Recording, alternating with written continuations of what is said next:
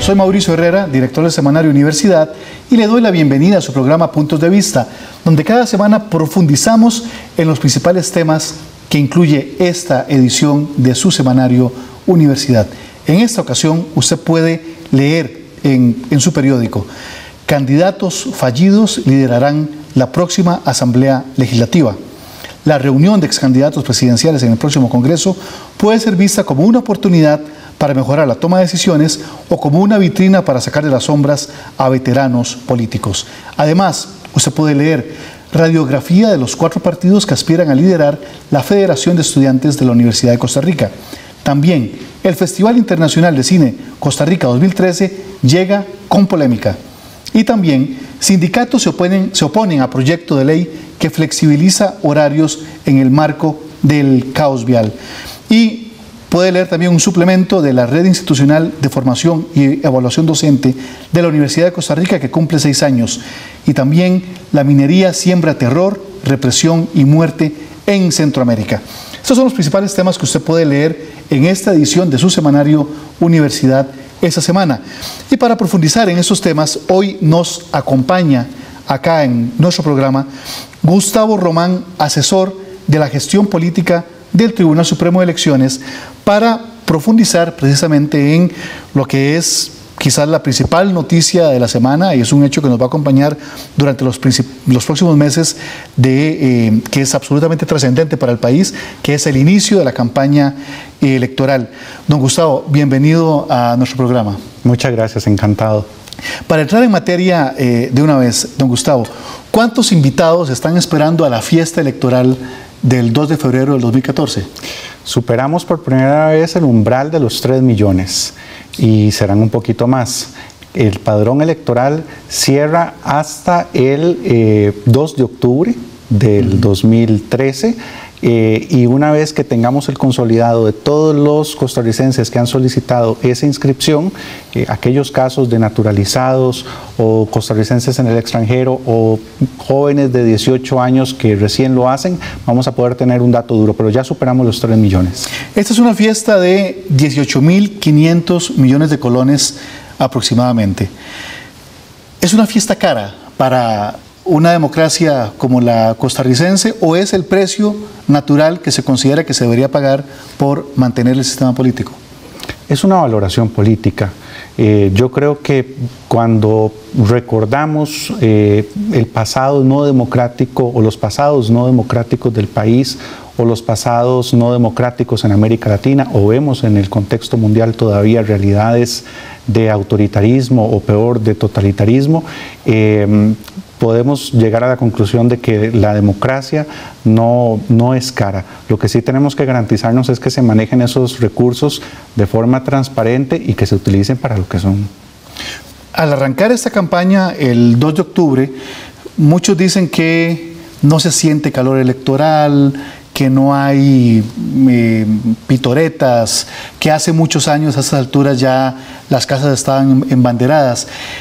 ¿Eso es reflejo de la apatía que está sufriendo la población costarricense hacia la política o es un síntoma de algún otro fenómeno? Yo creo que en parte es síntoma de, esa apatía, de ese malestar que el Tribunal Supremo de Elecciones eh, no va a tratar de tapar el sol con, un dedo, pero también es síntoma de una sociedad que cambió. Eh, si los procesos electorales hoy son distintos, eh, es porque nosotros como sociedad somos distintos. Y evidentemente esta es una sociedad y sobre todo las nuevas generaciones que no están contentándose con ir a una plaza pública, ondear banderas, que no entienden que su participación política sea corear el nombre de un, de un candidato, eh, que tienen eh, un nivel de criticidad y de exigencia eh, republicana mucho mayor, una noción de ciudadanía más potente, eh, que no se conforman con poco y que tienen eh, ganas de participar en política, pero de forma diferente, aportando, dando, sus opiniones y no solamente con entusiasmo.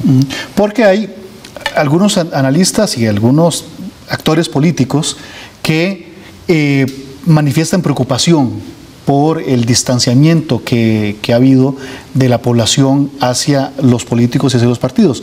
Pero también está eh, la posición que usted nos expone, que es, se puede considerar eso como, es, como una madurez mayor de parte del, electorado. Eh, ese proceso de distanciamiento en algún momento eventualmente puede comenzar a causar digamos, un, daño mayor o en qué momento, digamos, podría considerarse que considera que comienza a causar un daño al proceso democrático como un todo? Creo que le causa daño cuando estamos frente a tedio o a indiferencia, eh, no cuando estamos frente a malestar o crítica. Las, democracias maduras no le temen o no le deberían temer al malestar o a la crítica, pero sí a la indiferencia o al tedio, al porta a mí. ¿Y, y cómo, ¿Cómo marcar esa diferencia? O digamos, ¿cuáles serían como indicadores o signos que nos permitan ver, bueno, esto es, esto es una mayor criticidad, un mayor escepticismo y mayor conciencia republicana, o esto es tedio, apatía, porta a mí? Pues tendrá que haber estudios empíricos sólidos. La Universidad de Costa Rica es la que puede aportar luz para medir esto científicamente, pero de forma em, eh, yo creo que la diferencia sería entre ver a una eh, sociedad, por ejemplo, en redes sociales, vibrante, opinando sobre lo que está pasando en la Asamblea Legislativa, sobre los proyectos de ley que se discuten, sobre las propuestas de los candidatos, discutiendo de forma eh, álgida esas cosas, creo que eso sería malestar y crítica una sociedad que solamente está interesada eh, en el Mundial de Fútbol y que piense que Costa Rica es el mejor país del mundo porque estamos clasificados a Brasil 2014, eh, creo que ahí nos estamos acercando a la, a la indiferencia política y eso sí que es preocupante. Don Gustavo, ¿usted dónde vota? Yo voto en Santo Domingo de Heredia. Y para ese 2 de febrero, ¿cuál sería su plan ideal eh, pensando en, sus, también sus tareas como funcionario del Tribunal Supremo de Elecciones? Pues votar bien temprano. Esa es una alternativa. Votar bien temprano y trasladarme al tribunal o eh, trasladarme al tribunal todavía más temprano y moverme en algún momento del día que esté un poco desahogado para votar. ¿Con qué novedades se va a encontrar usted y todos los costarricenses, todos nosotros, en, este proceso electoral cuando vayamos a emitir el voto? Bueno, eh, hay dos muy visibles que van a ver todos los costarricenses. Eh, una es que no va a haber tres papeletas como era tradicional, sino que van a recibir solamente dos porque los puestos de regidor eh, se van a elegir en una elección autónoma a medio periodo en el 2016, entonces solamente nómina presidencial y los cargos de diputado. Y la otra es que por primera vez en la historia vamos a tener paridad de género y listas trenzadas, mujer, hombre, mujer, hombre, en las eh, listas de candidatos a diputados a la Asamblea Legislativa. Esas son dos novedades eh, importantes con las que se van a encontrar los electores aquí en Costa Rica. Otra cosa son los electores fuera de nuestras fronteras. Precisamente en el siguiente bloque, nos tenemos que ir a una, una pausa, vamos a hablar de otras novedades como el voto en el extranjero. Cuando volvamos en unos minutos aquí en su programa Puntos de Vista, no se vayan.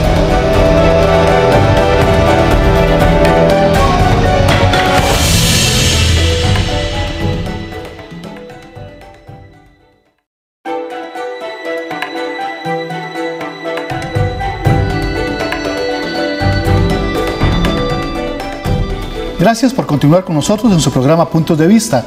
En esta ocasión nos acompaña Gustavo Román, asesor de gestión política del Tribunal Supremo de Elecciones y estamos conversando acerca del inicio de la campaña electoral en Costa Rica con rumbo a las elecciones del 2014. Don Gustavo, por primera vez vamos a tener en el país, eh, en este proceso electoral, votación desde el extranjero. ¿Cómo es que va a funcionar esto? Los costarricenses cómo es que van a hacer el proceso de empadronamiento. Ya a estas alturas imaginamos que ya se han empadronado. ¿Cómo, cómo opera? Primero decir que estamos muy contentos porque esa era una población excluida de los procesos electorales en Costa Rica. Eh, estaba como en el imaginario que nadie se iba, nadie migraba de Costa Rica y nos hemos dado cuenta que son eh, miles de costarricenses en todas partes del mundo que quieren participar. ¿Cuántos son aproximadamente? En este momento tenemos empadronados más de 12 mil eh, costarricenses. Y seguramente que hay muchísimos más, pero es una población que, puede determinar el resultado de una elección perfectamente. Y por eso es, muy importante que, a, partir de ahora tengan ese, ese derecho. Em, tenían la posibilidad de empadronarse dirigiéndose al consulado de Costa Rica en el país en el que estuvieran o vía web, llenando un formulario en el que se les pedía además fotografías de sus huellas dactilares, de su rostro y además de su firma. Eso se sometía a un procedimiento de, análisis para eh, verificar que fuera exactamente la persona que, que decía ser y eh, se emitía una, resolución administrativa en la que se les declaraba eh, inscritos en el padrón de ese consulado. Se les pone, digamos, como domicilio electoral el... Nueva Delhi en la India, Tel Aviv en Israel, etc. Eh, la fiscalización y el seguimiento de ese proceso por parte del TCE, ¿van a viajar funcionarios del TCE al extranjero, a esos consulados, para estar allí el día de las elecciones? Van a viajar funcionarios del tribunal con mucha experiencia en estos temas en aquellos consulados que cumplan una de dos características, que tengan al menos 50 electores o que estén cercanos países centroamericanos, por ejemplo. En los consulados en los que eh, haya menos de 50 electores y además estén eh, lejanos de, Costa Rica, eh, las funciones de, dirección de la mesa recaerán en el cónsul y puede ser acompañado por otros funcionarios del servicio diplomático y por eh, representantes que los partidos políticos puedan o quieran acreditar en esas mesas o incluso por ciudadanos que residan en ese país, en esa ciudad, que no quieran vincularse a ningún partido político y que quieran participar como miembros de mesa. Pues esperaría que los partidos políticos se muevan y elijan, digamos, sus fiscales de mesa en, los consulados también. Claro, esto es normal. las colonias. Esto es normal en otras partes del mundo. Lo que pasa es que esta es nuestra primera experiencia. Vamos a ver qué respuesta dan los partidos políticos. Dentro de otras novedades que hay, está también la del programa de votante informado. ¿En qué consiste? Parte de la preocupación del Tribunal Supremo de Elecciones, más que de la gente vaya a votar, de que la gente vaya a votar de forma informada, eh, de la convicción de que la potencia del voto eh, ciudadano depende de la información con la, que cuente la gente para tomar esa decisión. Y el programa consiste en tres acciones básicas. Una plantilla en nuestra página web en la que contrastamos eh, en distintos temas álgidos del debate nacional, qué piensan y qué proponen los distintos candidatos para que de una forma rápida eh, los costarricenses puedan compararlos. Además, la hoja de vida de cada uno de ellos para que también puedan saber quiénes son y qué han hecho una serie de programas de radio en Radio Nacional en la que estarán invitados todos los candidatos eh, a la presidencia y las cabezas de lista de las eh, listas diputadiles por, provincia. Eh, y dos debates televisivos en Canal 13 con todos los candidatos a la presidencia de la República. Ahí se estaría hablando de los 12 los 12 candidatos este, que están en competición, independientemente de lo que marquen las encuestas. Sí, efectivamente. Es, eh, al igual que en eh, cualquier medio público, tiene que estar abierto a todas eh, las alternativas. Para esta elección, las encuestas y las encuestas que ha hecho la Universidad de Costa Rica estiman que podría haber un abstencionismo cercano al 65.8, que no dista mucho de, eh, del abstencionismo más, perdón, eh, una votación del 65.8 que eh, es cercano, digamos, a los porcentajes más bajos que se han tenido en, en, otros momentos, especialmente en la elección del 2006. Esto es una preocupación para el Tribunal Supremo de Elecciones que vuelva a elevarse el abstencionismo en, en el país en las votaciones.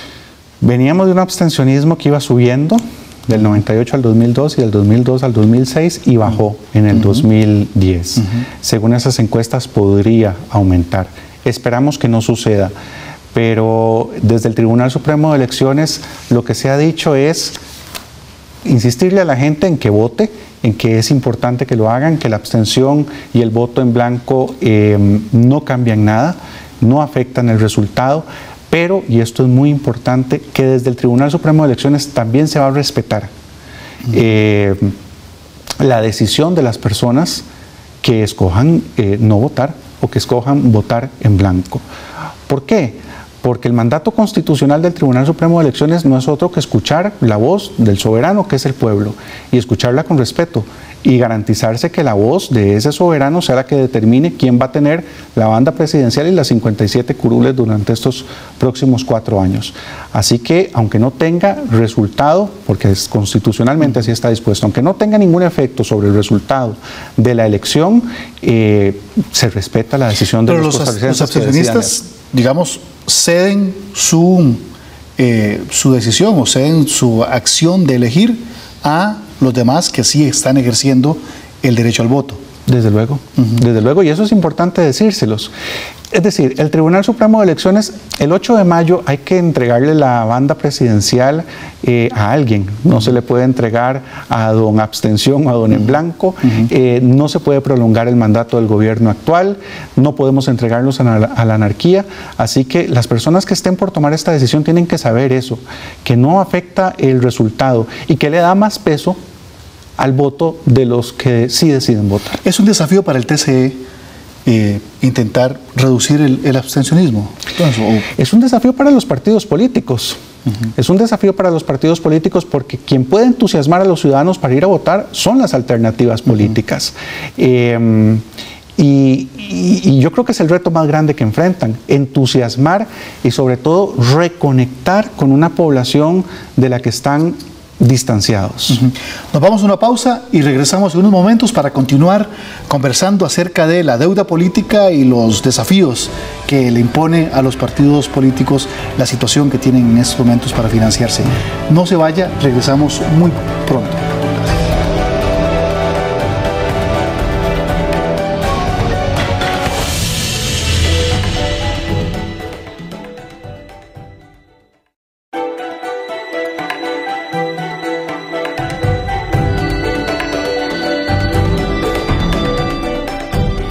Gracias por continuar con nosotros en su programa Puntos de Vista. En esta ocasión estamos conversando con Gustavo Román, asesor de la gestión política del Tribunal Supremo eh, de Elecciones. Don Gustavo, el abstencionismo tiende a ser más fuerte en la periferia del país y entre las personas de más edad. Eh, ¿Ustedes han planteado alguna estrategia desde el Tribunal Supremo de Elecciones para intentar llegarle a esos públicos que son cada vez más eh, segmentados y quizás incluso identificables? Pues es un hecho sociológico. Eh, la abstención está ligada a la exclusión social. Eh, y creo entonces importante remarcar que la abstención no es la enfermedad, sino que probablemente es el síntoma uh -huh. de, de, una, de una enfermedad. Eh, el esfuerzo que ha hecho el Tribunal Supremo de Elecciones estos años es por impedir que haya ninguna clase de abstencionismo técnico en Costa Rica. Es decir, uh -huh. que nadie se quede sin votar porque no puede votar. Uh -huh. Porque como sucede en otros países de América Latina, las élites políticas y económicas están interesadas uh -huh. en que haya sectores grandes de la población que no voten. eh, aquí en Costa Rica esa abstención no existe. Existe la abstención de la persona que decide no hacerlo. ¿Qué podemos hacer con esa? Motivarlos. Pero como le decía antes Mauricio, eh, quien puede entusiasmar el voto de los ciudadanos, quien puede motivarlos a ir a votar, eh, son los candidatos, ellos son los que ofertan. Claro, pero al intentar eliminar el, el abstencionismo técnico, entonces lo que queda es una expresión auténtica de un sentir, digo, que es el no votar se convierte entonces también en una decisión consciente de parte de un grupo importante de los ciudadanos. En palabras del magistrado presidente del Tribunal Supremo de Elecciones, eh, vamos a escuchar con atención incluso a los que hablan con su silencio uh -huh. el próximo 2 de febrero. Y a estas personas que han sido abstencionistas en procesos anteriores, ¿cómo se les ha respondido y cómo se les está respondiendo ahora? Desde el punto de vista del Tribunal Supremo de Elecciones, la democracia costarricense los ha escuchado y ha hecho los cambios que esos sectores que se expresan con la abstención han manifestado? No son los mismos, hay que decirlo, uh -huh. Mauricio. Eh, en, en, la investigación que la Universidad de Costa Rica eh, colaboró con el Tribunal Supremo de Elecciones, quiénes son los abstencionistas y por qué no votan, eh, vimos que, entre otras cosas interesantes, no eran los, las mismas personas que se abstenían de votar en una elección u en otra. Em, pero concretamente su pregunta, yo creo que ha habido pasos importantes. Uno fue la aprobación del Código Electoral de 2009, pero son insuficientes aún. Eh, la democracia eh, costarricense tiene todavía una deuda pendiente o varias deudas pendientes con, esta propia, con su misma sociedad. Eh, una particular importantísima tiene que ver con la equidad de las contiendas, pero si quieres sobre eso podemos hablar. Sí, no, no, precisamente así eso iba, porque ustedes han estado impulsando una serie de reformas eh, y entre las cuales es, un elemento muy importante dar equidad a todos los partidos, por ejemplo, a todas las voces, para que puedan expresarse, porque en estos momentos eh, mucho, digamos, la, democracia va firmada en un cheque a las televisoras este, y la libertad de expresión de cada quien tiene que tener ese contenido económico para poder ser eh, ejercida. Eh, y ustedes han hecho, han hecho propuestas en ese sentido. ¿Nos podría ampliar de lo que han eh, expresado, lo que han planteado y lo que han obtenido como resultado? Sí, hay que reconocerlo. Esta es una democracia antigua en América Latina, muy estable, es una democracia madura, pero es una democracia que tiene una mancha enorme de inequidad en el acceso a los medios y por ahí eh, en el debate público. Y el Tribunal Supremo de Elecciones, ya en la propuesta de Código Electoral de 2001, propuso algo similar a las franjas eh, electorales, que es lo que propuso recién hace unos meses. ¿En qué consisten las franjas? Básicamente en un espacio gratuito a los partidos políticos en pie de igualdad, sin importar su pasado eh, de votación y sin importar su posición en las encuestas actuales, para que puedan presentarse al electorado y presentar todas sus eh, propuestas y sus, sus ideas. Eso no solamente tiene que ver con derecho a la información del elector, sino que tiene que ver con la posibilidad de las alternativas políticas de darse a conocer. Y tiene que ver con el pluralismo y tiene que ver con otros valores constitucionales muy importantes eh, en, el ordenamiento costarricense. La, la reacción pues que no hubo voluntad política en la Asamblea Legislativa. Esto quienes lo podían aprobar eran los 57 diputados. No hubo voluntad política cuando lo propuso el tribunal en el Código de 2001 y hay que decirlo, de ningún partido político en el 2009 cuando aprobó eh, el nuevo Código Electoral y no hubo voluntad política en esta ocasión y desde luego también tuvimos un rechazo frontal e incluso nos parece excesivo de parte de los grandes medios de comunicación del país. Que precisamente, y hay que decirlo, los medios de comunicación de la Universidad de Costa Rica, Canal 15, el Sistema Radiofónico UCR y el Semanario Universidad, eh, ya hemos manifestado públicamente que vamos a asumir la propuesta de franjas y de equidad. Mm en la comunicación de los partidos políticos que ha planteado el Tribunal Supremo de Elecciones. De ahí que ustedes como mm, electores sí van a poder ver en los medios de la Universidad de Costa Rica la aplicación de la propuesta del Tribunal Supremo de Elecciones para dar equidad a todos los partidos políticos. Eh, y esperamos que eso sea como una, un piloto y una demostración de que sí se puede hacer lo que el tribunal está planteando en esa materia. Bueno, la Universidad de Costa Rica se coloca como, como vanguardia cívica en ese sentido. Sí, es que nos parece que es, vital eh, poder dar una demostración clara de que, de que es importante para el país ir eh, por ese camino. También quería preguntarle acerca de la deuda política, que ha causado un tremendo, digamos, eh, incomodidad o malestar entre los partidos porque les está impidiendo la posibilidad de financiarse como lo habían hecho hasta ahora. ¿Qué era, ¿Cómo funcionaba el sistema actual? ¿Cuál es el problema que se detectó y la solución que se estaba planteando a, esta situación? Procuro sintetizar. Tenemos un sistema de financiamiento mixto, público y privado. Los partidos pueden captar donaciones de privados, pero los partidos tienen una expectativa también de financiamiento estatal o público. Ese financiamiento es ex post, es después de la votación y es con base en los votos recibidos en la elección. ¿Qué era lo que hacían los partidos antes? Que podían hacerlo porque estaba en el código electoral está en el Código Electoral, era emitir certificados de sesión, lo que popularmente se conocía como bonos, respecto de esa expectativa de derecho de dinero de contribución del Estado con base en la votación que esperaban alcanzar. Y utilizaban esos bonos tanto para eh, dar eh, garantías de créditos bancarios, para pagar proveedores o simplemente para venderlos entre sus propios allegados a, precios más bajos para que tuvieran una ganancia. ¿Qué fue lo que pasó? ¿Qué es el cambio? Que ese mecanismo fue impugnado ante la sala constitucional. La sala constitucional acogió el recurso y eso hace que se suspenda la eh, aplicabilidad de esos bonos. Y eso deja a los partidos sin posibilidad de, financiamiento, pero ¿cuál es la alternativa que se está planteando ahora y qué tan viable es para dar equidad a todos los partidos? Bueno, eh, la alternativa óptima eran las franjas y se propusieron eh, hace bastantes meses. No hubo respuesta de los partidos políticos y ahora, claro, eh, están en esta situación de, apuro. Entonces hay una propuesta para, un para fideicomisos. Entonces ahora el Tribunal Supremo de Elecciones eh, les hace otra propuesta, casi que de emergencia, que es la de constituir fideicomisos con cualquier banco del sistema bancario nacional. Eh, ¿Qué ganamos con eso? Me pregunta usted. Eh, ganamos un poco más de transparencia y orden, porque sin duda alguna se van a manejar estos fideicomisos con un fiduciario de una forma mucho más eh, transparente que lo que era el tema de los bonos, pero no ganamos en equidad. Le agradezco muchísimo, don Gustavo, su participación en este programa.